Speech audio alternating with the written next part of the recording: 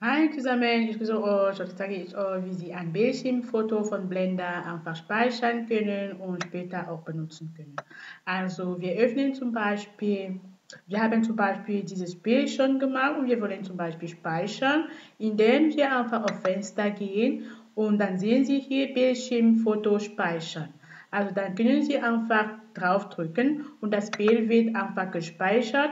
Und Sie sehen hier, Sie haben die Möglichkeit, das Bild einfach zu benennen, wie Sie einfach wollen. Und Sie können nicht nur in PNG speichern, Sie haben auch die Möglichkeit, in andere äh, Dateien einfach zu speichern. Zum Beispiel, Sie können zum Beispiel hier in BMP speichern, in Iris speichern, in JPEG auch speichern und Sie sehen schon die Dateien Formaten, die wir einfach benutzen können.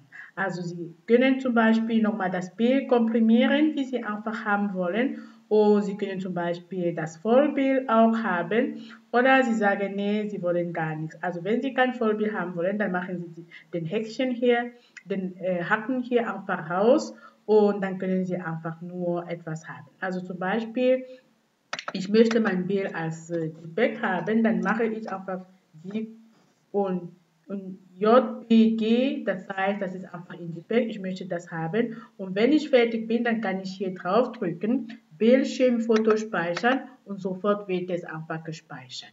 Und so haben Sie die Möglichkeit, die Sache einfach zu speichern und das Bildschirmfoto zu speichern oder Screen äh, einfach zu speichern, wie Sie einfach wollen. Sie haben auch die Möglichkeit, hier ein Screencase einfach zu speichern, indem Sie einfach hier drauf drücken und es geht genauso. Also sofort wird es einfach gespeichert. Sie haben auch die Möglichkeit, nochmal das Bild zu, richtig zu positionieren, damit Sie einfach speichern können. Also, und von daher freue ich mich auf das Video mit euch geteilt zu haben.